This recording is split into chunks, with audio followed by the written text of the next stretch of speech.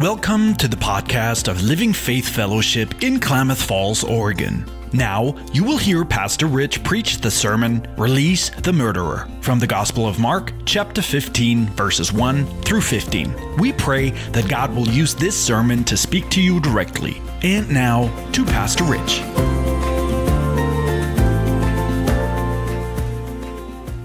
So last week, the Atlanta First News had an article and they reported that a murder suspect was loose after being accidentally released, according to the Fulton County Sheriff's Office. Zion River Shaka, 30 years old, was booked into Fulton County since 2020, and he faced several charges out of Clayton County. Shaka was supposed to be returned to jail on January 22nd after a hearing, but the Clayton County Sheriff's Office mistakenly let him go. And Fulton County was not too happy about that. And so Fulton County said they are looking for Shaka today. I had read that article and I thought, when I hear of a murder suspect accidentally being let go, that's frustrating to me human error. That frustrates me. But what if they released a murderer on purpose and they ended up executing an innocent man instead? Would that frustrate you? Think about that as you open your Bibles with me this morning to the Gospel of Mark, chapter 15, as we continue in that verse by verse study. Last time, really quickly, let's catch up. Remember, we learned about some atrocities that were happening during Peter's denial. Mark 14, 65. Then some began to spit on him and to blindfold him and to beat him and say to him, prophesy. And we said being blindfolded made it almost impossible to flinch when the punches were coming and to guard against those punches so the beating would have been that much more destructive to Jesus. Isaiah, remember we studied, told us that he was beaten so badly that you could barely tell that he was a human being at the time. And we learned how Peter lied, and then finally he cursed and swore that he didn't even know Jesus. Then remember, after the rooster crows, Peter looks over and Jesus is staring at him with eyes of compassion and love and not judgment or hate or anger. And then finally, we ended with kind of a relief of Peter's full restoration back into ministry. And so today we're going to learn about the false trials before Pilate and how the religious leaders asked for a murderer to be set free and that the innocent Lamb of God be crucified. So if you have your sermon notes, Roman numeral one, Jesus' silence speaks volumes. If your Bibles are open, Mark 15, start at verse 1. It says, Immediately in the morning, the chief priests held a consultation with the elders and scribes and the whole council. And they bound Jesus, led him away, and delivered him to Pilate. Then Pilate asked him, Are you the king of the Jews? He answered and said to him, It is as you say. And the chief priests accused him of many things, but he answered nothing. Then Pilate asked him again, Do you answer nothing? See how many things they testify against you? But Jesus still answered nothing, so that Pilate marveled. So this is about 5 a.m. Jesus, remember, has already been beaten brutally at his last trial at the high priest's house.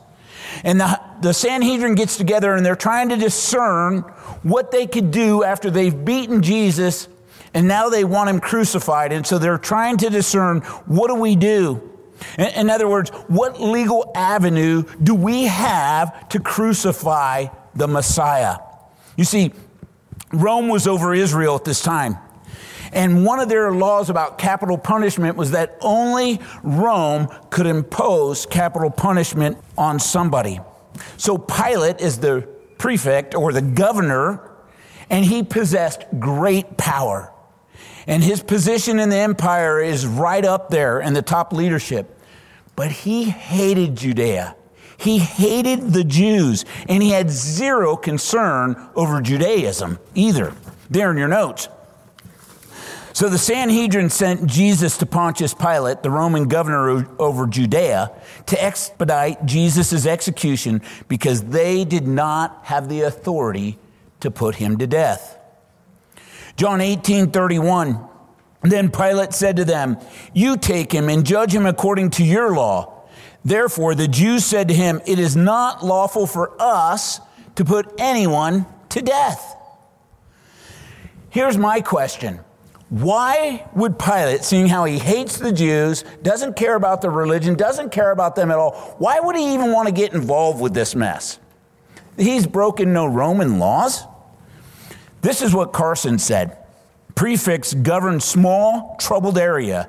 And in judicial matters, they possessed powers like those with far greater positions. In short, they held the power of life and death. So again, why didn't Pilate just tell the Sanhedrin, get lost? Want nothing to do with you guys. Well, there's actually really good reason why Pilate was willing to listen to this. Listen to these things there in your note. Pilate was in trouble with Tiberius Caesar because some of the things he had done while governing Judea. There are three specific things that caused a mess between Pilate and Caesar. Number one, when Pilate first came to Judea, his men were carrying standards of gold and silver with eagles on top of the standards. And the Jews considered that idolatry. And so they had an uprising because they thought that Pilate was coming in with idols into their town. So the Jews rioted. And Pilate ordered all the rioters to be brought into the amphitheater and threatened to kill them. And so what did they do? The rioters all laid down and said, If you kill us, 10,000 more will come in and take our place. So Pilate ends up backing off because what are you going to do to these people? They'll just keep coming. And Tiberius Caesar hears that he could not handle the uprising and he threatened to remove Pilate. Number two, two years later, Pilate had an aqueduct built and he raided their temple, the Jewish temple, to pay for this aqueduct. And you can imagine, what did they do? They rioted again. Another rebellion. And again, Tiberius Caesar hears about this and he's furious. A second uprising. And then just a few months before our narrative here, Pilate ordered new shields for his soldiers. And on front of the shields was Tiberius Caesar. He's trying to please Caesar. And again, the Jews say, That's idolatry. How dare you bring that in here? They rioted again. Tiberius Caesar warned Pilate right then and there if there's one more uprising, from the Jews, I'll remove you as governor and I'll summons you back to Rome. And it probably wouldn't go real well if he got summoned back to Rome. What's so ironic is these Jews have broken every one of their own laws while trying Jesus. And they wanted to stone Jesus for themselves because they believe he's committed blasphemy. They believe he's taken over their position, but they didn't have the right to do it. They also didn't want to upset Jesus' followers. There in your notes. So the religious leaders went to Pilate, who did not want to upset the Jewish leadership again for fear of another uprising. Pilate didn't care that Jesus claimed to be the Son of God. In Pilate's mind, he just didn't care. But the religious leaders considered that blasphemy. So the religious leaders also accused Jesus of some other things because basically Pilate didn't care about quote unquote this blasphemy that he's done. So they accused Jesus of being a terrorist, starting an insurrection, promoting himself as king of the Jews, making himself over Caesar. And you, again, remember, only Rome had the right of the sword. Rome did allow certain of their territories to have a form of self rule. But again, they held the power of taking a life. So Jesus wouldn't defend himself. He's before Pilate, and Pilate says, Are you king of the Jews? He said, Yes. And then he starts to list these other charges. And Jesus is completely silent. And Pilate's perplexed. He's perplexed about this whole thing. Even though they didn't have the authority to kill people, they have killed people before, right? Think about this. In the narrative in John 8, the woman caught in the act of adultery, and they're getting ready to stone her for adultery. Maybe you remember the story, and Jesus stepped in. How about the first Christian martyr, Stephen? In Acts chapter 7, the Jews stoned Stephen to death. So there were times that the Jews used the death penalty, even though they didn't have the authority to do so.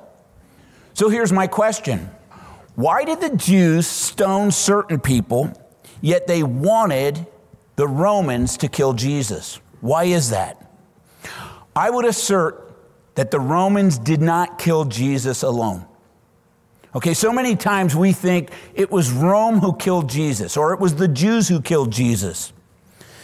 The Jews didn't want to take responsibility for his death, and they didn't kill him alone either. It was the will of the Father, it was a predetermined will of God the Father that Jesus would die. Number two, Jesus had to die by crucifixion in order to fulfill Old Testament prophecies. Number three, according to Mark 10, the Gentiles had to have their hands in his death. And the fourth and most important one is Jesus took the curse of sin, so in exchange, we could become the righteousness of God in him. Had Jesus not died on the cross, we would be dead in our sins and trespasses. Deuteronomy 21 22 if a man has committed a sin deserving of death, and he is put to death, and you hang him on a tree, his body shall not remain overnight on the tree, but you shall surely bury him that day, so that you do not defile the land which the Lord your God has given you as an inheritance. For he who is hanged is accursed of God. Jesus became a curse, so we could become the righteousness of God in him. There in your notes, this is my thought.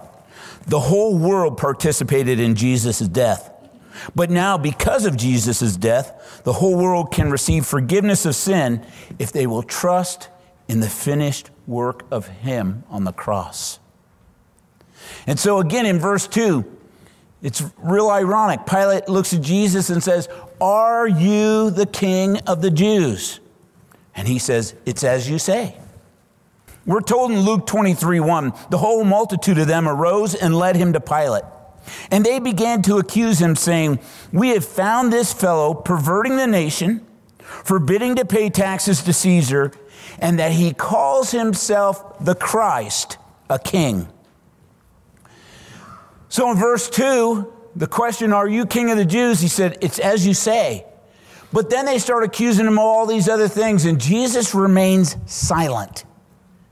When he's questioned, he doesn't say a word. Isaiah 53 7, he was oppressed and he was afflicted, yet he opened not his mouth. He was led as a lamb to the slaughter, and as a sheep before his shearers is silent, he opened not his mouth. So they take Jesus to Pilate, and they're accusing him of political treason, which is punishable by death, by the way. And this is why they're doing it because they know that Rome can kill him for treason. And so they accuse him of stirring up civil unrest and they accuse him of telling people not to pay their taxes. And then the final accusation he calls himself the Christ. He's king even over Caesar. Jesus seems to be at Pilate's mercy here. Think about this. And I'm sure up to this point, Pilate has seen man after man after man beg for their life, right? If this guy has the power of life and death, just imagine all these people who were condemned to death coming before Pilate and saying, Please have mercy on me. I'm throwing myself on your mercy. What man in his right mind would not beg for his life? William Lane said this Such silence was wholly unusual in this forum and demonstrated a presence and a dignity that puzzled Pilate. It just absolutely puzzled him. John 19 10. Then Pilate said to him, Are you not speaking to me? Do you not know that I have the power to crucify you and the power to release you? Jesus answered, You could have no power at all against me unless it had been given to you from above. You have no power over me. This is going to happen. You might think you have the power, but this is the predetermined will of God the Father, and I'm allowing it. All right, so Roman numeral two, Pilate wanted to release Jesus. Pilate wanted to release Jesus. Look at verse 6. Now at the feast, he was accustomed to releasing one prisoner to them, whomever they requested. And there was one named Barabbas, who was chained with his fellow rebels. They had, listen to what they've done, they had committed murder in the rebellion. Then the multitude, crying aloud, began to ask him to do just as he has always done for them. But Pilate answered them, saying, Do you want me to release to you the king of the Jews? For he knew the chief priest had handed him over because of envy. Remember, this is during the Passover. And Passover was the celebration of the Exodus out of Egypt after four centuries of slavery. According to JSTOR Daily website, this is what it said. Over the century, different Passover traditions had come and gone, and some persisted longer than others, and the faintest traces of history could be found. But one such custom was the annual release of a prisoner. There in your notes. On the evening before every Passover during the Roman occupation of Jerusalem, Jewish leaders asked the Roman governor to free a single convict who likely had become a political prisoner. So during this time of Jesus, because Rome is over them, there's a lot of insurrections going on. A lot of men uprising against them and wanting to overthrow the Roman government. It's kind of like modern day terrorists. That's what's going on here. And this is exactly what the religious leaders said Jesus was doing. He's a modern day terrorist. So, why would Pilate want to set Jesus free? That's a great question. Well, besides the tradition of setting a prisoner free, Pilate actually knew Jesus was innocent. And so I would say it's partly because of his conscience.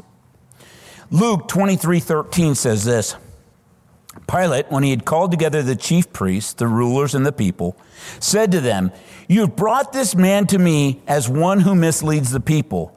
And indeed, having examined him in your presence, I find no fault in this man concerning those things of which you accuse him. There in your notes.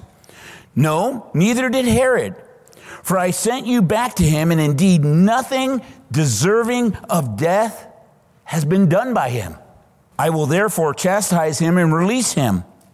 For it was necessary for him to release one of them at the feast. There in your notes. Pilate had a political problem, so he had to make a choice between doing what was right and doing what was politically easy. Again, Pilate is no fan of the Jews, but he knew that if these religious leaders brought charges again before Caesar, he was going to be in trouble. And he also knew how popular Jesus was among the people. And so he said, You know, these religious leaders, the only reason they're going after Jesus is because of envy. They know full well he's innocent. In verse 7, we're introduced to this man named Barabbas, who was chained with his fellow rebels. The Encyclopedia Britannica says this Barabbas was a prisoner mentioned in all four Gospels, and he was chosen by the crowd over Jesus, that much we know, to be released by Pilate in a pardon. But Barabbas was called a notorious prisoner. In Mark 15, 7, he was in prison with the rebels who had committed murder during the insurrection against the Roman forces. John 18, 40 says that he was a bandit. Most commentators believe that Barabbas was the true insurrectionist in this story, wanting to overthrow Rome. Catch this. Most extra biblical historians say that he was the worst mass murderer of their time. Think about this. Think about who the worst mass murderer of our time would be and letting him go and crucifying an innocent man. That's what's happening here. He was even hated by his own people because every time he'd do an insurrection, every time he'd rise up against Rome, all the people had to pay the price of the consequence, not just him. He caused so much trouble by his actions, so the people hated him. Do you know that the thieves on each side of Jesus on the morning he was crucified were actually insurrectionists as well? So here's Jesus being accused of insurrection. and he's an innocent man. Here's something else that I learned Barabbas was actually scheduled to be crucified that day. Jesus literally and figuratively took his place. I think Pilate was trying to appeal to the crowd. You know he's an innocent man. Who do you want? Do you want Jesus or do you want this mass murderer who's caused you all these problems? Roman numeral 3. The murderer was pardoned. Look at verse 11. But the chief priest stirred up the crowd so that he should rather release Barabbas to them. Pilate answered and said to them again, What do you want me to do with him who you call the king of the Jews? And they cried out, Crucify him. Then Pilate said to them, Why? What evil has he done? But they cried out all the more, Crucify him. The religious leaders are telling the crowd how to vote. You, you want to talk about peer pressure? These religious leaders, these people have to live with these guys, and these guys get to determine a lot of stuff for them. And they're telling this crowd how to vote. There in your notes, we must remember that most Jews didn't trust nor like Pilate, and most of them did not want to anger their own Jewish religious leaders. Now, the question's been asked several times how does this crowd ask for Jesus to be crucified when a week earlier the crowd was shouting Hosanna on Palm Sunday? How did that happen?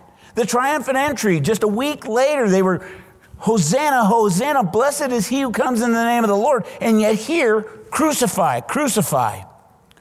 Remember, up to two to three million people came to Jerusalem for Passover. And again, it's the celebration of when the angel of death passed over all those homes that had the blood on the doorpost, celebrating the exodus out of Egypt. The crowd during Palm Sunday, again, they hear Jesus is coming to town and they start shouting, Hosanna, blessed is he. And they're calling him the King of the Jews. These people, remember, their whole lives have learned the messianic prophecies. And the one especially out of Psalm 118. Psalm 118, 26. Blessed is he who comes in the name of the Lord. We have blessed you from the house of the Lord. God is the Lord, and he has given us light. Bind the sacrifice with cords to the horns of the altar. You are my God, and I will praise you. You are my God, and I will exalt you. See, Hosanna means save, rescue, Savior. And so it's no wonder why the religious establishment, when that happened that day on the triumphant entry, they wanted Jesus dead. And here we are a week later. And now the crowd saying the same thing. Here's my question Was the crowd fickle? Or were they afraid of the religious leaders? Or was there another reason? There in your notes. As A.T. Robertson said, if one wonders why the crowd was fickle, he may recall that this was not yet the same people who followed him in the triumphant entry and into the temple. So his assertion is it's not even the same crowd. And I don't know if it is or not. But Pilate's dilemma is shown within his question Do you want me to release to you the king of the Jews?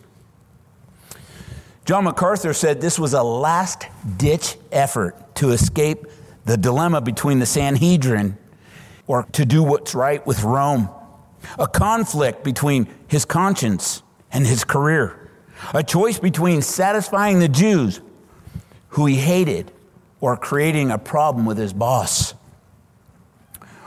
Why would a cruel Roman governor spend so much time trying to convince this crowd. Why would he do it? Was it because Pilate was impressed by how Jesus didn't try to defend himself? Was it because Pilate believed that Jesus was the promised Messiah? Was it to spite the Sanhedrin whom he hated? Was it all of the above? Or was it because he was trying to save his political life? There in your notes, not only did Pilate think Jesus was innocent, but his wife had a vision and told Pilate not to touch this innocent man. But Pilate does not want a political catastrophe on his hands. Matthew 27 19. While he was sitting on the judgment seat, his wife sent to him, saying, Have nothing to do with that just man, for I had suffered many things today in a dream because of him. So I guess we get to choose why Pilate was suffering. I don't know the answer, but I think it might be all of the above. Roman numeral 4. So Pilate tried to appease his political foes. Look at verse 15. So Pilate, wanting to gratify the crowd, released Barabbas to them, and he delivered Jesus and had him scourged to be crucified. Remember, here Jesus is when he shows up at Pilate's place. He's been beaten so bad already, and he was spat upon and smacked with open palms and blindfolded and all those things. And here, during this trial, Pilate orders Jesus to be flogged before he's going to get crucified. The flogging by the Romans, they're known for being the worst in all of history. There in your notes, scourging was not meant to kill someone. However, it was brutal enough to be fatal. Scourging was meant to not only harm a person, but to humiliate them as well. They would strip a person and humiliate them publicly. And then the whip that they were using was a flagrum, is a cat o' nine tails with strips of leather, with bones, pieces of bones and pieces of stone, and they would whip a person from their chest to their waist. This was graphic. But this was interesting to me. David McAllister said that Roman law actually mandated flogging as a part of a capital punishment. But it wasn't to hurt them more. He says it was to make their time on the cross even shorter. The victim would have been so weak and lost so much blood from the beating that they would die quicker on the cross. 800 years before this scene, Isaiah prophesied this Isaiah 53 5. But he was wounded for our transgressions, he was bruised for our iniquities. The chastisement for our peace was upon him, and by his stripes we are healed. All we like sheep have gone astray. We have all turned every one to his own way, and the Lord has laid on him the iniquity of us all. By law, Pilate had to have Jesus flogged before his crucifixion. But I wonder another thing, and this is just me wondering. I wonder when Pilate sent him to be flogged if he was actually hoping that the religious leaders would relent after seeing him beaten so badly to say, okay, okay, enough. So let's get practical this morning. I started saying when we hear of a murder suspect being released on purpose and an innocent man being killed, that's frustrating. I mean, real frustrating. Think about the families uh, of the victims of this murderer. And again, most secular historians tell us that Barabbas was one of the worst mass murderers of his time, and his own people hated him because of all the consequences they were facing. Matthew 27 says that he was a notorious prisoner, but I would call him a notorious sinner. But now, the bad news part of this good news message we're all murderers, we're all notorious sinners like Barabbas. And if you say, oh, not me, I lived a good life, well, you, you ought to go study the Sermon on the Mount sometime.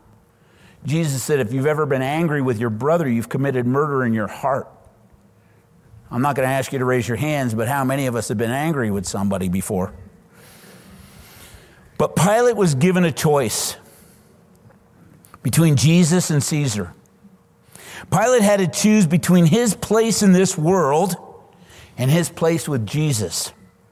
He had to choose between the power of the world or surrendering to Jesus.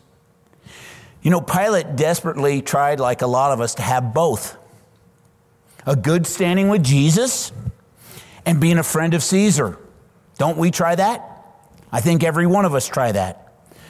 The bad news is you can never permanently keep anything that you've gained in this world by denying Jesus. Within 10 years of this very scene, Pilate lost his position as governor over Judea and was sent back to Rome. When he got there, back to Rome, Tiberius had died, and the new Caesar that was in charge exiled him to Gaul, and there he committed suicide. Pilate compromised everything he had during this trial of Jesus in order to secure his place in the world. Pilate, just like the religious leaders, chose the world and Caesar over Jesus, the real King of Kings and Lord of Lords. You know, last week I said this that Jesus was not the one on trial here. Think about this. Again today, Jesus is not the one on trial. The crowd, the religious leaders, and Pilate are the ones who are truly on trial here.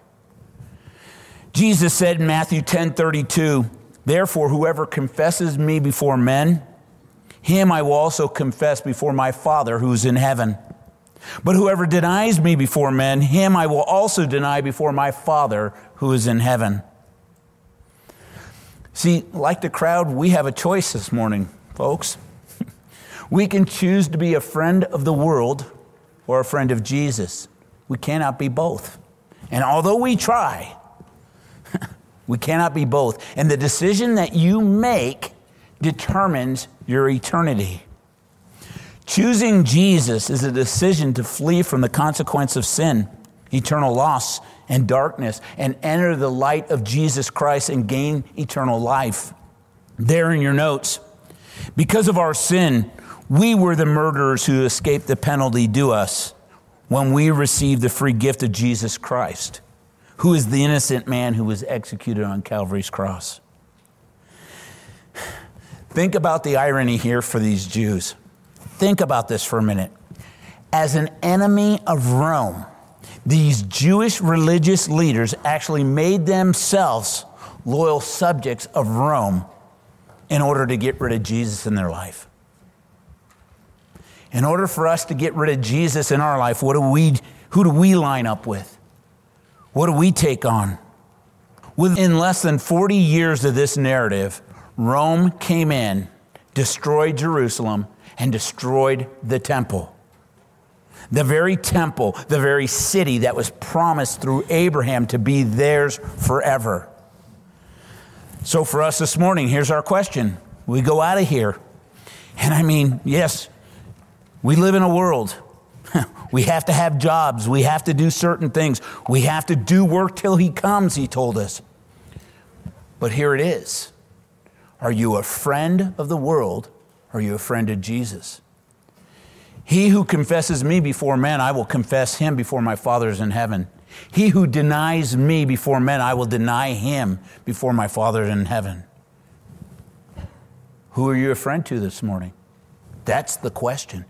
And Jesus, because of his great love, would look at us like he looked at Peter with these eyes of compassion and forgiveness and love. And he would say, Come, take my burden. It's light and easy. I love you. I've given you everything. And so many times we think that the world has something we need rather than taking the light burden of Jesus Christ and receiving eternal life.